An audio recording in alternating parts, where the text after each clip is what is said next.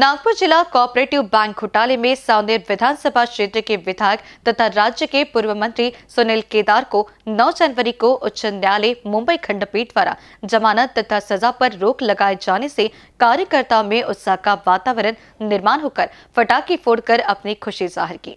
अपने लाडले नेता को माननीय उच्च न्यायालय से जमानत तथा सजा पर रोक लगने की खबर पहुँचते ही कार्यकर्ताओं में उत्साह निर्माण होकर जगह जगह आतिशबाजी कर हर किसी ने खुशी ज़ाहिर की। 9 जनवरी को माननीय उच्च न्यायालय के न्यायाधीश उर्मिला जोशी ने अपना फैसला सुनाते हुए एक लाख रुपए के निजी मुस्कले पर जमानत मंजूर कर उन्हें दी गई सजा पर रोक लगाई।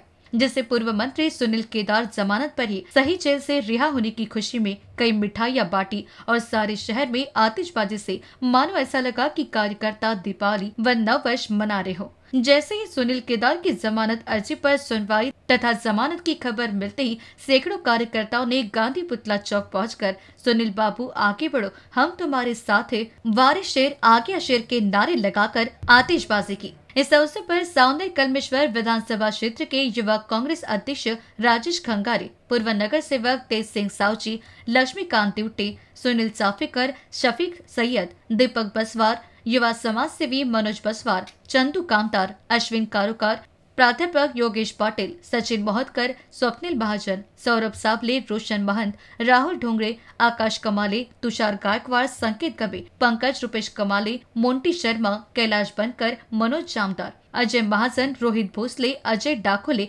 आदि प्रमुखता से उपस्थित थे। पूरे उत्साह के साथ साहब भी और कार्यकर्ता डबल उत्साह के साथ उतरेंगे। सत्य की जीत हुई है। मैं इसके साथ भगवान और न्यायपालिका दोनों को धन्यवाद सावनेर विधानसभा के सभी कार्यकर्ते सभी युवक कांग्रेस सभी कार्यकर्ते कांग्रेस के कार्यकर्ते सभी बहुत खुश हैं। जो बीजेपी की जो गंदी राजनीति है उसको आज कोर्ट ने हरा दिया है और हमारे साहब को स्टे देकर बेल दे दी आज जो हुआ वो सही न्याय हुआ है और आज की इससे ऐसा यानी ये हो गया कि आमदारगी भी फिर से बहाल होंगी और न्याय का यानी न्याय हुआ। एनबीसी न्यूज़ के लिए सावनी से किशोर ढूंढेली की रिपोर्ट।